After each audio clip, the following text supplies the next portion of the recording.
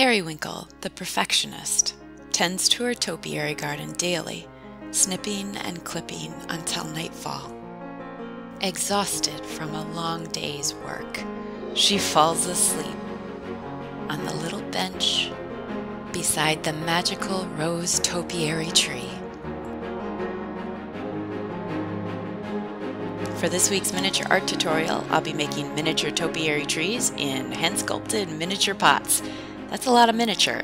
Stick around for the whole video because the magic happens at the end. This is certainly Caroline with more polymer clay fairy tale nonsense.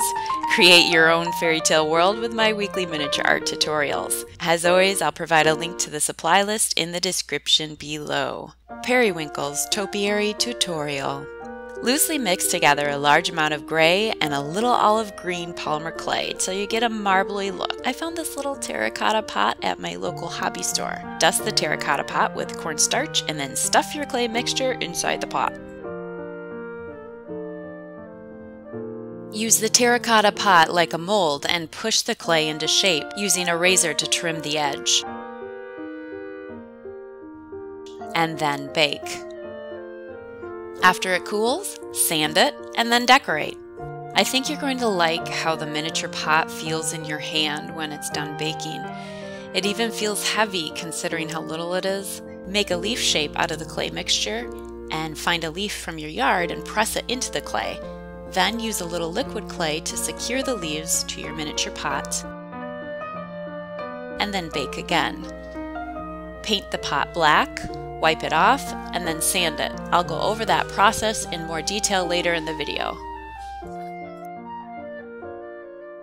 To make the topiary tree, get a stick from your yard and use a hot glue gun to attach clumps of the moss to the stick, building it up into a topiary shape. You can start with the hot glue gun, but you definitely want to finish with this glue. If you keep going with a hot glue gun, you're going to get frustrated because it becomes impossible to hide the glue. Fabri-Tac dries clear.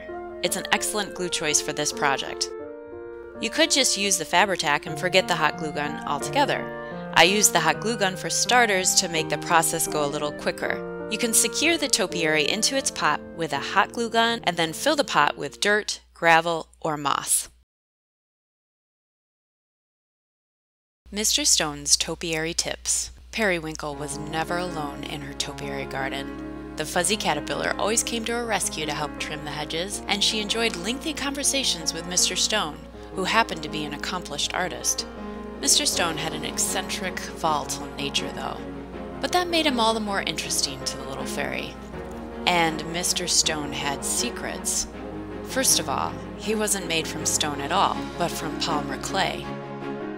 And a little bit of magic. And because he was such a little thing, he had room for only two emotions. He was either inexplicably happy or he was exceedingly sad.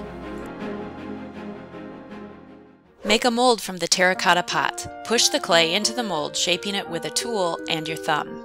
Make it the thickness you want and then bake it.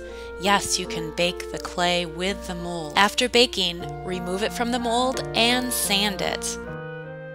Use a little liquid clay to secure one of the sculpted faces to the pot and then bake again. You'll be tempted to skip baking the face onto the pot, but if you do, you'll find the face slides all over the place with the liquid clay. It's best to set the face in place by baking it first and then decorate. Secure the decorations with liquid clay and bake again. Repeat the process for the other side.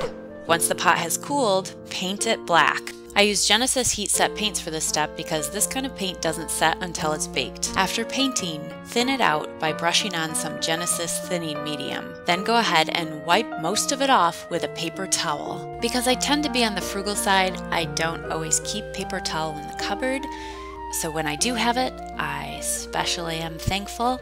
So in honor of paper towel, here is my paper towel fairy garden. We actually had it in the house, so of course I had to make a fairy garden out of it. You can use acrylic paint, but you'll want to work in small sections so the acrylic doesn't dry before you get a chance to wipe it off. Once the paint is dry, carefully and thoroughly sand it. To make the rose topiary, find a stick and wrap a ball of tinfoil around it. Wrap the tinfoil in masking tape. Use a little masking tape to secure the ball to the stick, then paint the ball black with acrylic paint. This is preserved boxwood, but you can get a similar look with dried eucalyptus. Remove some leaves from the stems and hold a group of the leaves together while cutting them in half. You'll be able to use both halves for the project, so don't throw anything away. Once again, you can start off with a hot glue gun, but you're going to want to finish with Fabri-Tac. If you don't, you're going to find it very hard to hide the glue. I use dried miniature rosebuds for my topiary. Miniature ribbon roses will also look really good. And that's it. DIY miniature pots for DIY miniature topiary trees. The perfect combination of cute and charming. Hey, if you like this video, click the like button. And if you have any questions, please ask away. I love to hear from you guys. And of course, if you haven't already, subscribe to my strange little world of polymer clay fairy tales.